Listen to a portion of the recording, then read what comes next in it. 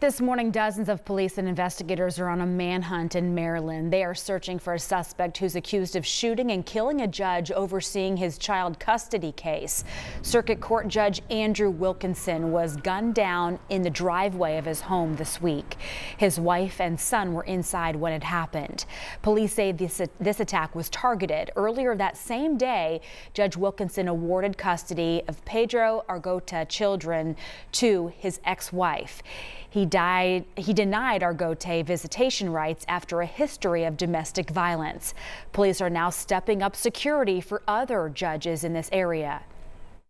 We placed uh, officers and troopers at the local judges here in the county at their residence just as a precaution initially.